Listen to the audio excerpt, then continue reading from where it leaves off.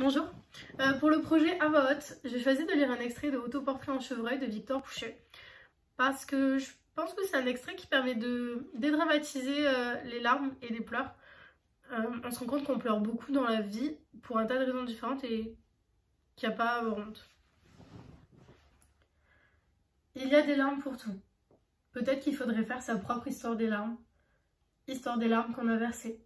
Histoire des larmes qu'on a vues verser. Histoire des larmes qu'on a empêchées, qu'on a essuyées. Histoire des larmes qu'on n'a pas réussi à verser au bon moment. Des larmes retenues. Histoire des larmes qui nous ont fait pleurer et des larmes qui nous ont fait rire. Histoire des larmes pour de faux et histoire des larmes décevantes. Histoire des larmes surprises et des larmes mécaniques. Des larmes à plusieurs et des larmes solitaires. Des larmes cinématographiques et des larmes sauvages.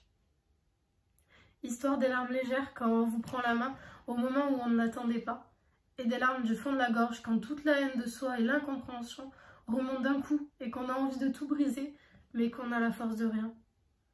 Voilà.